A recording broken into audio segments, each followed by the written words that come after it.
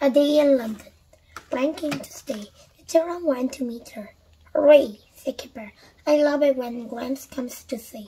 She's good fun. Gran brought presents for everyone. She gave Mom and Dad an ornament. Kipper has some little golf clubs and Biff and Chip had a keyboard. Thanks, Gran, said everyone.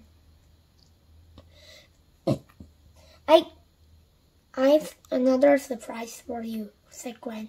He gave the children funny-looking parcels. What are they? asked Kipper. Boomerangs, said Gran. The children wanted to see how the boomerangs worked. Gran took them outside. He threw a boomerang and it whizzed through the air. Look out, shouted Gran. Kipper wanted to play with the golf clubs. Gran showed him what to do. She hit the ball, but she hit it too hard and smashed the window. Oh dear, said Gran. Next day, Biff, Irma, Nadim, and Anneena came to play. Biff and Chip showed them the keyboard. Gran had a good idea. Let's have a band, she said. The band made a lot of noise and the children had a good time. Whatever will Gran do next, said Dad. She's worse than the children, said Mom.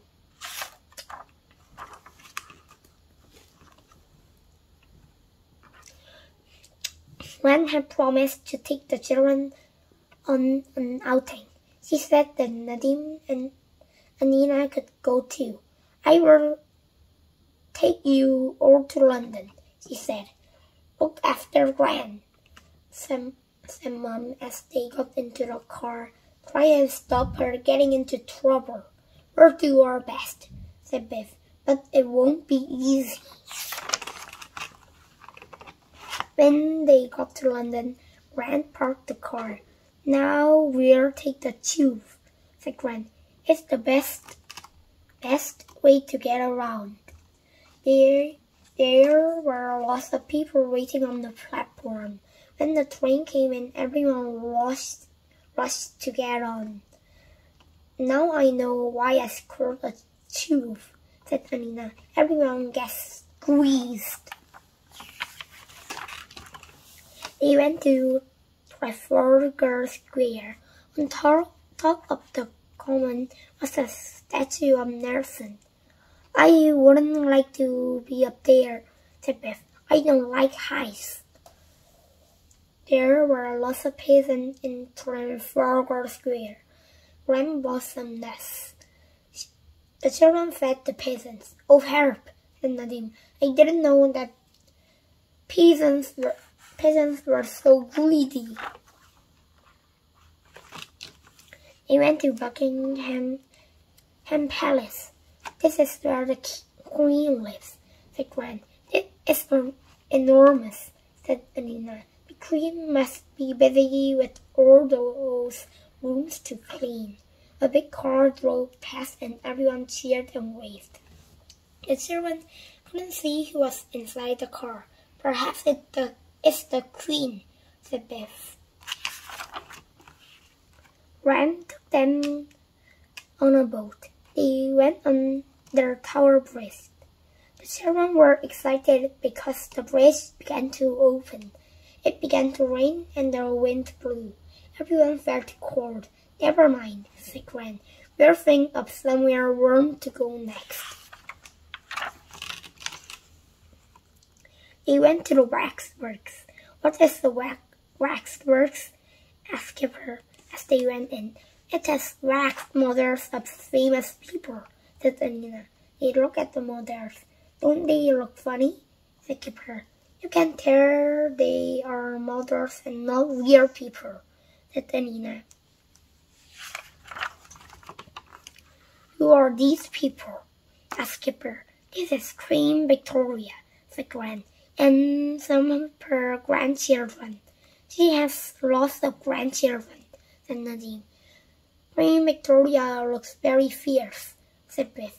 I bet she wasn't like you, Gran. Well, I didn't like to be a queen, said Gran. It must be a hard job. You look at the three scenes. This is what London was like a long time ago, said Grand. A lot of people was very poor. Poor children didn't go to school in those days. They had to work instead, said Grand. The, the boy is that boy carrying brush uh, is asleep.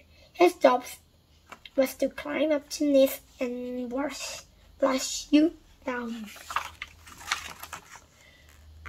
Gran went up to look at the royal family while the children stayed at the street scene.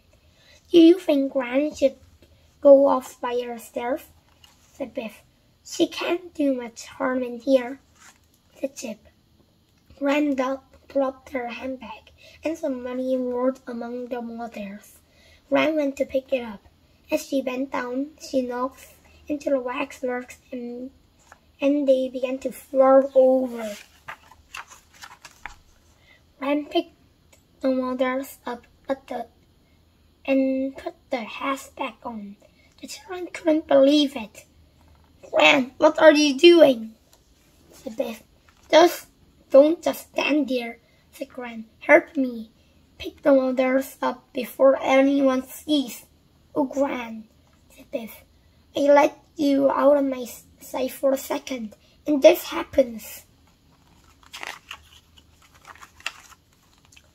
They pick up the mothers and put, put the hats back on. They look strange, said Anneena. I don't think think the heads are right. Oh no, said Gran. A lady ran up. She was very cross with Gran. I can't I can't think how you knocked the mothers over in the first place, he said. It's never happened before. I'm very sorry, said Gran. I don't know, said Beth. I don't think they will let Gran in the waxworks again. Never mind, said Chip. Gran didn't mean to knock them over. Thank you for the great day out, said Nadine. We had never been to London than before. I like the ride on the boat best, said Kipper. Even if it was cold. I liked everything, said the Nina. Oh my lad, said Gran. We can tell Mom some about of our adventures, but not all of them, and not the one about beheading the queen. The.